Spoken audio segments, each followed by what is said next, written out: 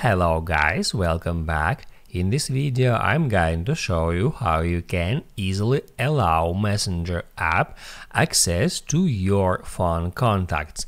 Be sure to watch the video to the very end uh, so you don't make any mistakes and of course do not forget to like this video and subscribe to my channel.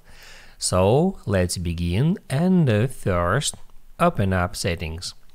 Then scroll down until you find privacy and security and then hit add contacts. Then on that list you need to find messenger app. Here it is.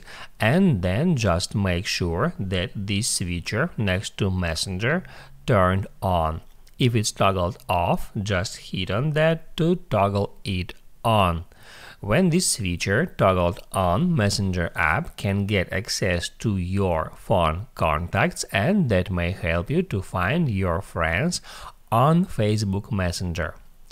Now you can write down in the comments below if you have any questions about that tutorial and also I recommend you to check out my messenger tutorials playlist which you can easily find in the description. Hit the like button if you liked that video and uh, see you in the next one.